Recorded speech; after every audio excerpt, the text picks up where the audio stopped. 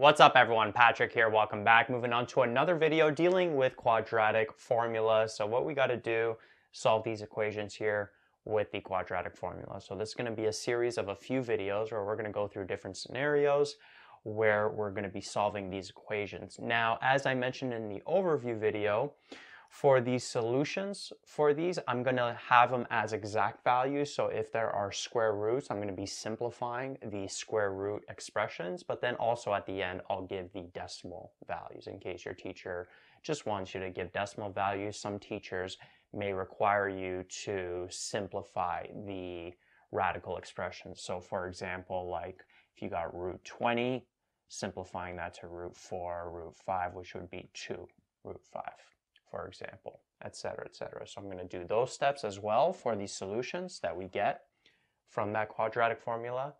But if you're not covering that, you could just skip that portion and go straight to the decimal answers. So let's start off with part A. We got ax squared plus 37x plus 20 is equal to 0.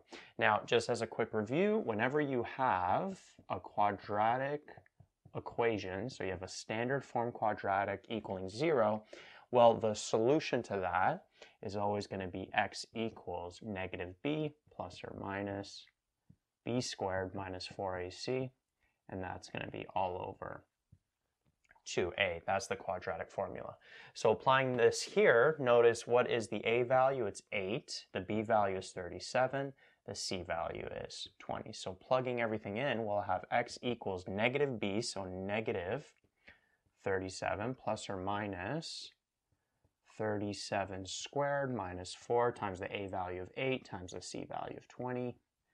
That's going to be all over 2 times 8. So we'd end up with negative 37 plus or minus uh, 37 squared would give us 1,369 minus 4 times 8 is 32 times 20 would give us 640 and then that's going to be all over 16 like that. And then here we'll have negative 37 plus or minus 1,369 minus 640 would give us 729. That's going to be all over 16. And then the square root of 729, it's nice because it's going to be a smooth value. It's going to be 27. And that's going to be all over 16 like that. Okay, so we're going to end up here having two different solutions. So either x can be negative 37 plus 27 over 16, right, if we use the positive, or we can have negative 37 minus 27 all over 16, like that. So two different possibilities. So negative 37 plus 27 would give us negative 10.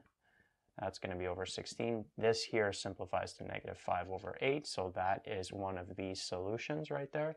And then this over here would be what? Negative, uh, 64 over 16, which would give us negative 4. So in this particular case, the two solutions are actually smooth values. They're not um, decimals, Okay, well this one is a decimal, but when I say decimals, it's not uh, a continuing decimal. Uh, it's not doesn't contain a radical function within the solution, right? So they're actual smooth values. And if you took this, this whenever there's smooth values like this, it means that it actually factors. And if you took this and factored it, I think it would factor into x plus 4. That's where we would get this solution, and then you'd have 8x uh, plus 5, like that. Okay, so this quadratic would factor into those, and that's where you would get the solution. But again, we're not doing it, we're not solving these equations by factoring, we're solving it with the quadratic formula. Then moving on to part B, so we got 3x squared plus 5x equals 6. Remember, quadratic equation, you want everything to be on one side, so you have a zero remaining on the other. So the six, I'm actually gonna bring over, so we'd end up with 3x squared plus 5x minus six is equal to zero, like that. So notice here, the a value is three, the b value is five, the c value is negative six, like that. Uh, so taking these, plugging them into the quadratic formula, I'm actually going to start it over here. So we'll have negative b, so we'll have negative 5 plus or minus b squared, which would be 5 squared minus 4 times the a value of 3 times the c value of negative 6. And that's going to be all over 2 times that a value of 3. So we'd end up with negative 5 plus or minus, this would be 25, and then this would be negative 12 times negative 6, which would give us positive 72. And that's going to be all over 6 like that. And then we'd end up with negative 5 plus or minus root 97 like this. And then that's going to be over 6. And then this root 97 here, it actually doesn't simplify any further. So we would leave it like this for the exact values. If you try to take root 97 and simplify it, you can't take 97 and divide it by a rootable number. You can't divide it by 4. You can't divide it by 9. You can't divide it by 16. You can't divide it by 25, by 36, etc., etc. You want to try to see if you could take this value, split, uh, divide it by a rootable number, so then you could have the rootable number here, and then whatever's remaining, and then this would end up being an integer. Okay, but root 97 it doesn't simplify any further.